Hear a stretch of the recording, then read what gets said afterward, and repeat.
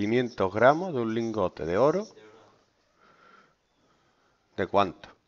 Con una ley de 0,8. Y otro de 300 gramos de oro beta.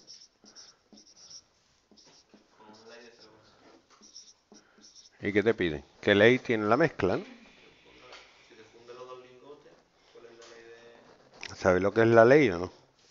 Es la cantidad de oro real que hay en el lingote, ¿vale?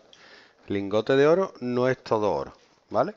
Si es de ley, cuanta más ley tenga, más oro tiene y más caro vale. ¿Mm? De hecho, entonces tú dices, vale, esto es de oro. Balón de oro, una mierda de balón de oro. Si el balón fuera de oro, no lo levantaba ni Dios. Eh, tendrá parte de oro, que será lo de fuera, pero lo demás no es oro. Entonces, el oro está mezclado, es una aleación de oro con otra cosa. Cuanto más le metas de oro, más puro es y más vale. ¿Mm?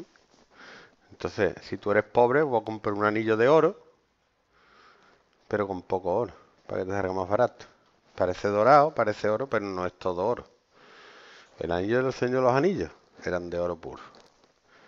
Ley 1, 100%, todo oro. Pero si yo mezclo los dos, me va a dar un intermedio. Esto es como, esto es la cantidad y esto es como el precio. ¿Vale? Entonces pongo cantidad. Ley total. A y B. Tablita que te crío.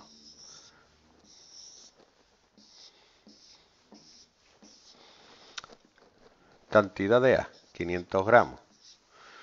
Ley 0,8.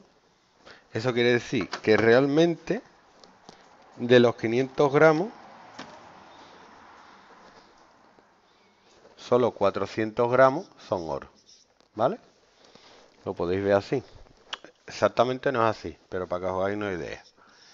Y si de 300 gramos de oro, de ley 0,6, 300 por 0,6 es 180.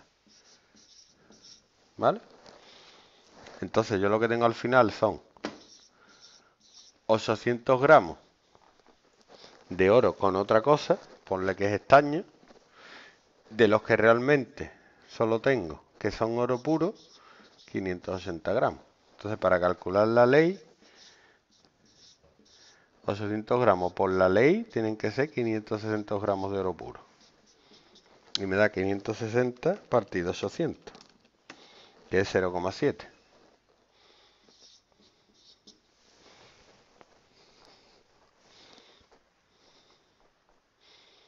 O sea que solo el 70% es oro de la mezcla y el resto es estaño o lo que sea. ¿No sería 580 abajo en vez de 560? ¿Y por qué he puesto 560?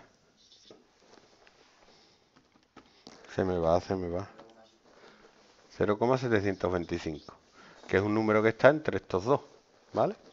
¿Por qué da más cerca del 0,7 que del 0,6? Digo del 0,8 que del 0,6. Porque hay más del oro bueno, ¿vale? Entonces te va a dar más puro. Si hubieran más de este, daría menos de 0,7, que es la mitad. Si estuvieran los dos a la mitad, daría 0,7. ¿Mm?